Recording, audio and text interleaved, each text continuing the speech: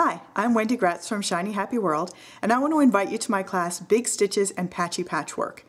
We're going to learn all kinds of great things in this class, starting with Big Stitch quilting, which is a very fun, very loose, very relaxed kind of quilting. If you've never done any traditional hand quilting before, don't worry, this is a completely different kind of stitch. You don't need any handwork experience at all to do it. It uses running stitch, which is the very easiest hand stitch there is.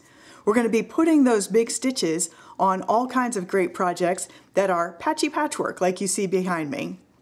I call it patchy patchwork because unlike tradi traditional pieced work, these patches are not sewn together with tiny little sashing strips between them.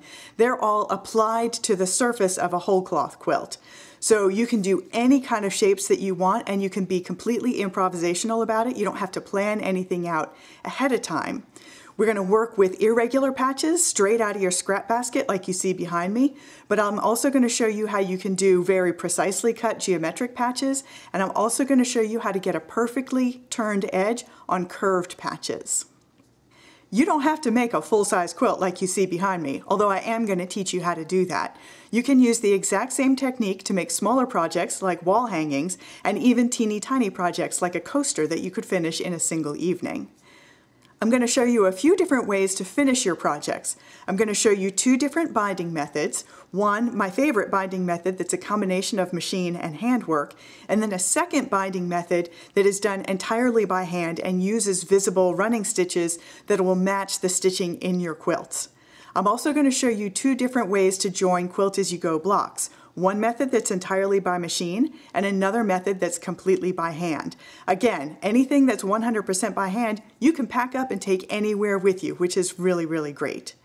I'm also going to show you how to make things with the fabric that you make. If you think of this technique as making fabric, you can then use that to make pillows. I'm going to show you my very favorite method for making a pillow. And I'm going to give you a bunch of patterns that are free for a couple of different size tote bags and a tablet cover. You're going to be able to make a lot of different things with the fabric that you make in this class. We're going to learn some great techniques and make some really fun projects, so I hope you'll join me. I can't wait to see what you make.